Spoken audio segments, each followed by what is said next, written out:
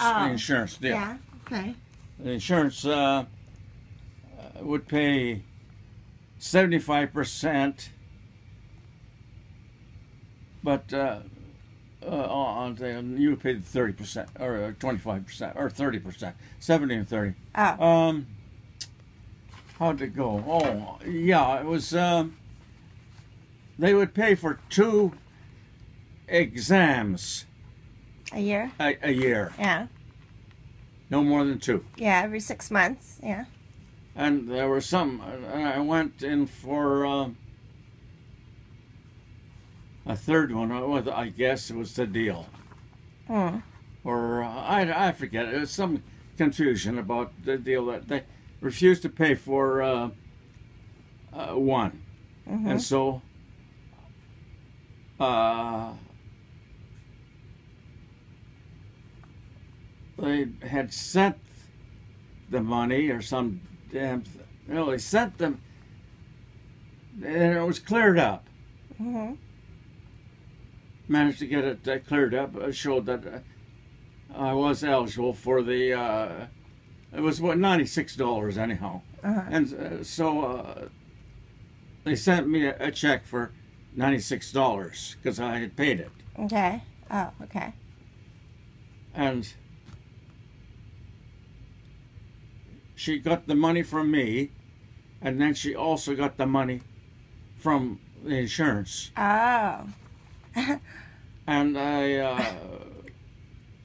went over there for my next examination, and and discussed it with her and her bookkeeper. She Yeah. had a bookkeeper right there, Yeah.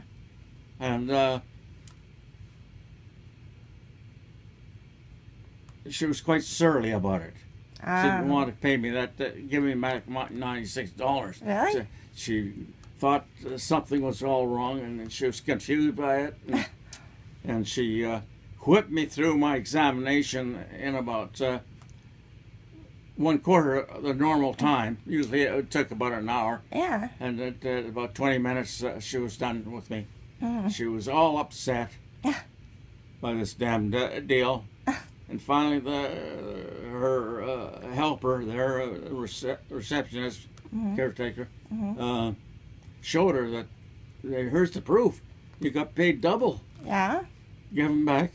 We have to give you back your ninety-six dollars Yeah. that I, I've given. Right.